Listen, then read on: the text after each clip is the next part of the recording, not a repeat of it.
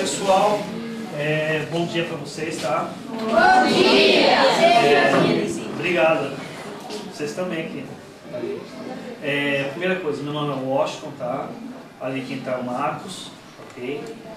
É, nós fazemos um trabalho sobre o meio ambiente, né? sensibilização, conscientização, educação ambiental, né?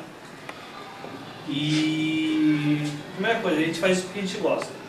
Alguém já viajou aqui para bairro bem longe, tipo assim, onde eu falei, Amazonas, Pará, Minas Gerais? Minas Gerais. Minas Gerais. Ah, é? Minas Gerais.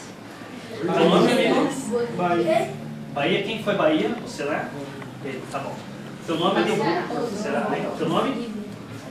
Lucas. Você foi para Minas Gerais. Que local de Minas Gerais? São Geraldo. São Geraldo.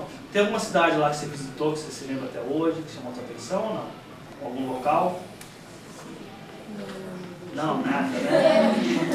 Minas Gerais não tem nada, temos, tem igreja, prédio antigo, não é assim?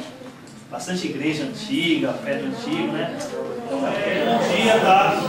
Meu nome é Washington, tá? Aqui está o Júnior, ali está o, Marcos.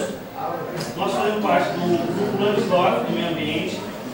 Lansdorf, meu nome é o seguinte, teve um, um militarista alemão em 1722 veio ao país, fez uma expedição para pesquisar a flora e a fauna no país.